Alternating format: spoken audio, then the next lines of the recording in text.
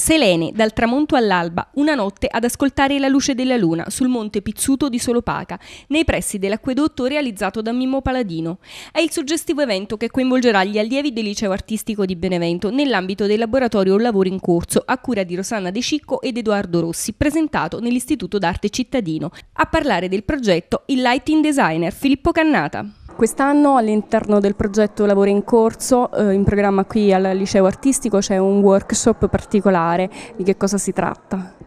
Si tratta di un'esperienza che abbiamo deciso di far vivere ai ragazzi del Liceo Artistico di Benevento, eh, proiettandoli in una dimensione diversa da quella che solitamente sono abituati a vivere. Quindi anziché una conferenza sulla luce, un'esperienza con la luce e quindi eh, vivere questa esperienza abbiamo pensato di eh, fargliela vivere eh, sul Monte Pizzuto dove ho già lavorato con il maestro Mimo Paladino per un intervento che lui ha fatto noi ci sposteremo 200-300 metri più sopra e trascorreremo la, luce, la, la, la notte sotto la luce della luna.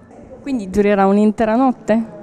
Durerà un'intera nottata, sì, è una sorta di sperimentazione di esperienza che tende a contestualizzare i ragazzi in una dimensione che probabilmente oggi non sono più abituati a vivere e eh, a ritornare un attimo indietro, un passo indietro, alle radici, a, alla notte intesa proprio in quanto tale, quindi priva di inquinamenti luminosi, di distrazioni okay, e concentrarsi su quello che è eh, la poesia e la poetica della luce della luna.